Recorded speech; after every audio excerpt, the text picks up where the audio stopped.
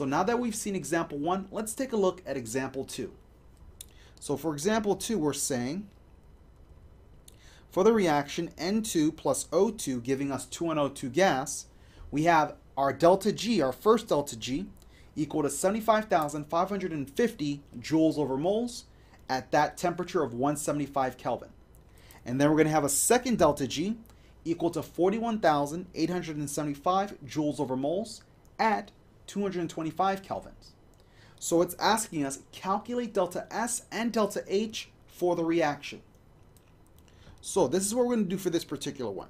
Since we're dealing with two types of delta G here, we're going to say delta G equals delta H 0 minus T delta S 0.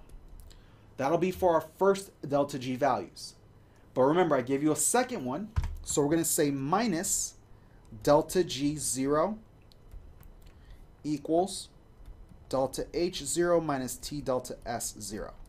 Now that negative sign is going to get distributed to everything within the brackets. So it becomes now,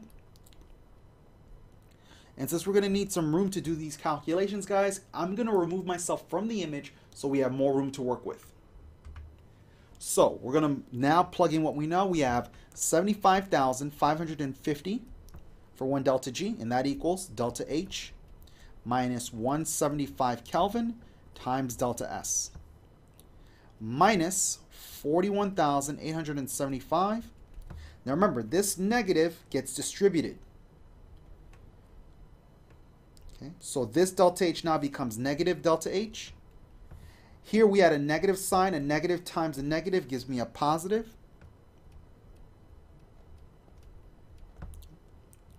The delta H values now cancel out. Then we're going to get 33,675 equals 50 times delta S. We want just delta S, so we divide by 50 Kelvin on both sides.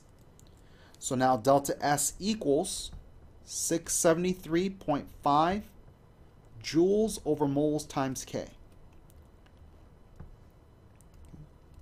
So that'll be our entropy value. Now, if we want to find delta H, we simply now do delta G0 equals delta H0 minus T delta S0. We can choose either one of these delta G values. Doesn't really matter which one we choose. So we're going to say 75,550 equals delta H0, which we're looking for, minus 175 Kelvin times the 6 73.5 joules over moles times K we calculated from earlier.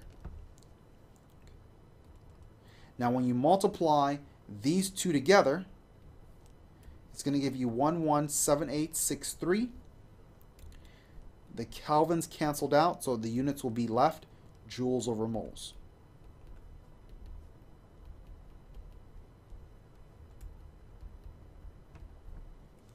So we're going to add 117863 to both sides.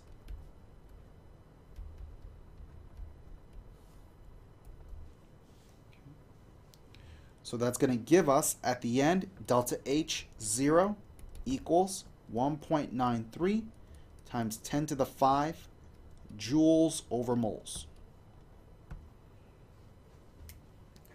So this is a technique you should approach when they give you two delta G's two temperatures and they ask you basically to find delta S and delta H. This is the exact method that you should use.